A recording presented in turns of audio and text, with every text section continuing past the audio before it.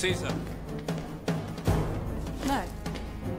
Guinevere, I'm arresting you for crimes in contravention to the laws of Camelot, and you did practice enchantments. When? What have I done? I haven't done anything. Help me, please. What are you doing? Found a magic poultice in her Oh, house. that's ridiculous. How else do you explain her father's recovery? Well, she's innocent.